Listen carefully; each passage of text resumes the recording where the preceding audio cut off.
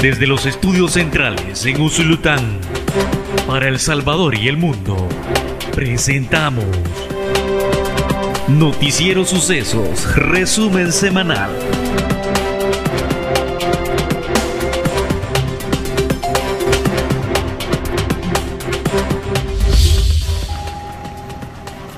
Autoridades policiales se desplazaron a esta comunidad de la Poza número 3 del municipio de Usulután, luego de que fueran notificadas del hallazgo de una persona asesinada con arma de fuego en una cancha de fútbol. A eso de las 7 de la noche del día de ayer, pues dos sujetos abordan a la vivienda de donde ésta se encontraba, que se presume que es la novia de, de, la hora fallecido, donde pues llegan al lugar y le lo sacan de su vivienda, pero fue hasta este día que dan, dan aviso.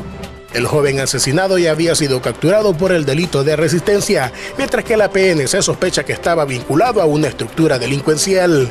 Ahorita siempre hay equipos en el sector, por supuesto indagando más sobre el hecho, porque ha pasado transcurrido el tiempo, pero serían las investigaciones que al final dirán en efecto quiénes posibles hechores del hecho. La víctima fue identificada como Jesús Alberto Ramírez Chicas, de 20 años de edad. Hasta el momento las autoridades dicen desconocer las motivaciones del crimen. Informó para Noticiero Sucesos Arnoldo Andrade. Estos estudiantes realizaron un viaje a través de la realidad virtual. Es un proyecto que sus compañeros presentaron en la Feria de Tecnología e Innovación realizada por el Instituto Nacional de Usulután. Lo que consiste en transportar a las personas a un mundo en el cual está grabado, pero ellos sienten que están presentes, que su cuerpo está ahí. Entonces es una experiencia muy bonita porque imagínense, nunca hemos viajado al espacio pero con esto existe la posibilidad de que gracias a la tecnología podamos sentir que se siente estar en algo, algo parecido.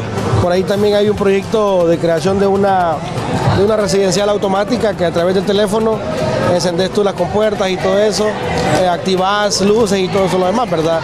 Y así también la parte de los juegos que han sido dinamizados y creados por ellos a partir de recursos de cosas desechables que anteriormente no servían, pues ellos han creado eso.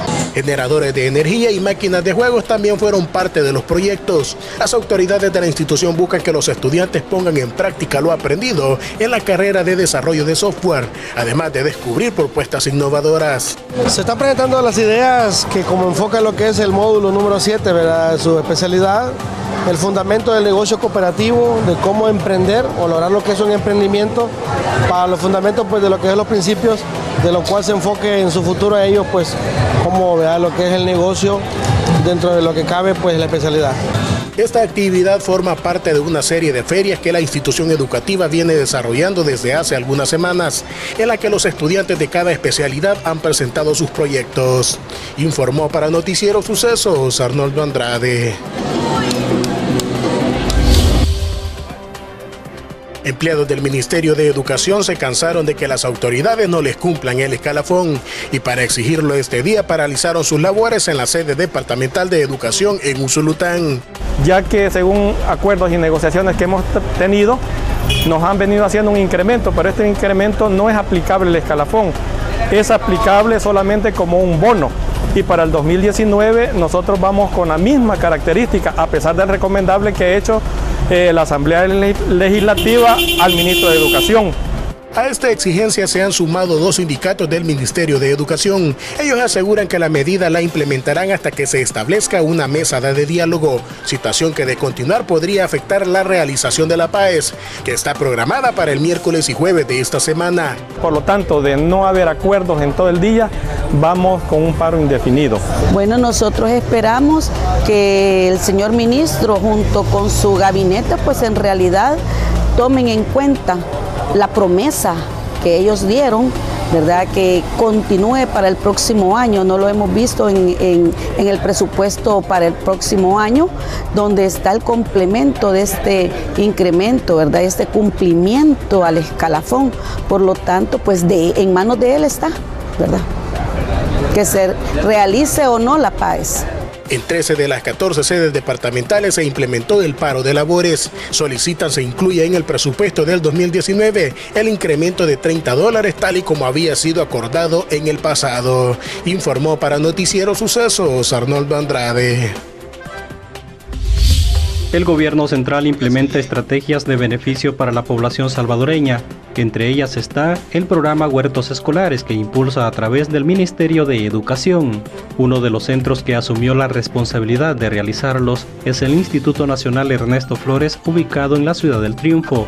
Eh, al hablar de huertos escolares es un programa que se incorporó dentro de lo que es el plan educativo Vamos a la escuela, impulsado por el actual gobierno y específicamente se ha realizado con, tres objetivos. Uno de ellos es fortalecer eh, la convivencia social.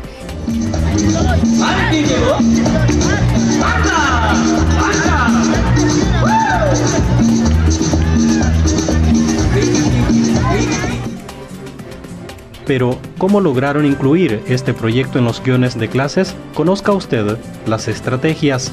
Por ejemplo, este, la profesora de ciencias, de matemáticas, en el caso mío que también doy curso de habilitación laboral, aplicamos aquella estrategia que dice aprender haciendo. Entonces, este, vamos a los puertos en matemática, por ejemplo, explican sus fórmulas a través de los huertos, a través de los tomates, a través de las legumbres. Y en ciencias igual, curso de habilitación laboral, por ejemplo, eh, los muchachos han, han estado muy integrados creando estos huertos escolares. Posterior a este proceso, los docentes hicieron la selección de los estudiantes que estarían al frente del proyecto para cuidar y cultivar los diferentes tipos de semillas. Eh, seleccionamos un grupo de estudiantes y lo que hacemos es pues el cargo de sembrar eh, las plantillas, eh, tomate, chile, cebolla y producir, ¿verdad?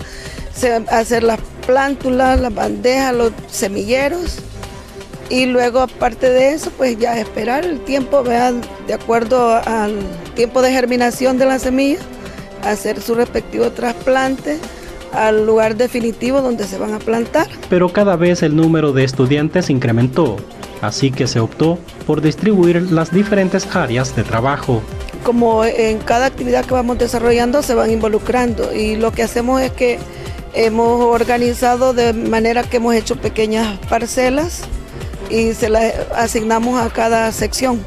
Y el orientador con la sección va trabajándola va trabajando esa parte, pero en la parte de producción nosotros les vamos mostrando eh, cómo hacerlo y les vamos asignando las actividades que se van a desarrollar. La implementación de este proyecto ha generado un cambio radical en la comunidad educativa. ¿Y por qué? se preguntará usted.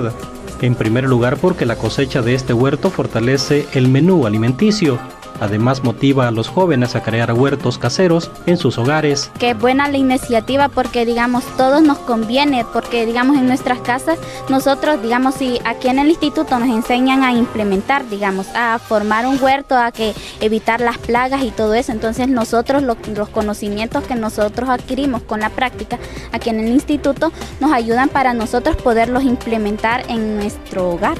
El proyecto también los motiva a emprender, dicen. Bueno, una de las importancias bases de este proyecto de los huertos escolares es crear una mente productiva en cada uno de los jóvenes. Es importante, digamos, enfocar eso en los jóvenes ya que son el futuro. El futuro de qué? Del Salvador.